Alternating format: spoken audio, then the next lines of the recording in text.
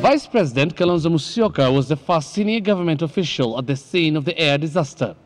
When he spoke, the Vice President confirmed the country's worst fears. The two internal security ministers and all the other occupants of the ill-fated aircraft were no more.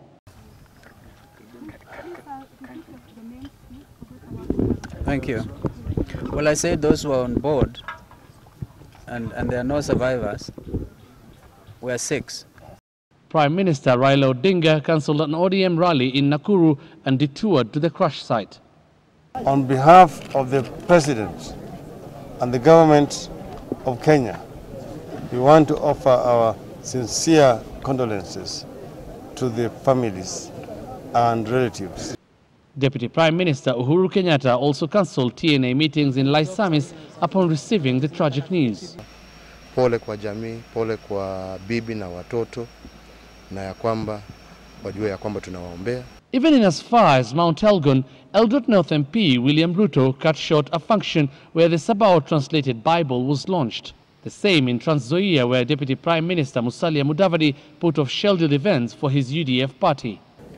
in solidarity with the families of uh, the deceased, we will postpone every other function until further notice so that we can mourn the demise of our colleagues and friends and leaders in our country. And uh, My deepest sympathies and condolences to uh, the family. And then colleagues, friends and family gathered at the Lee Funeral Home where the remains of the deceased lay.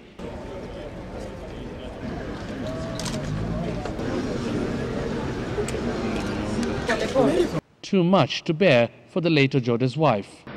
Mungu anaweza tuwe nasi leo na familia wa marehemu. Indeed, we are saddened by this, this tragic loss. Mimi pia ningependa sana kuungana na wenzetu ambao washa uh, tuma rambirambi zao kutokana na kifo ya ghafla ya waziri Saitoti, waziri Ojode. President Kibaki has called a special session of the cabinet at 10 a.m. tomorrow at the KICC. Assistant ministers have also been invited to attend the special cabinet session. Saitoti's last public appearance was at the Forum on Peaceful Elections on Friday in Mombasa, together with Ojode, where the minister made a long, passionate speech on police reforms and promising that the security apparatus was ready to deliver a peaceful vote for Kenyans. And I hope now that we have met here, now that I have flagged the issue and the request, can we do that so that we move? Because lack of finalizing this one sends wrong signals. Hussein Mohammed for Sunday Live.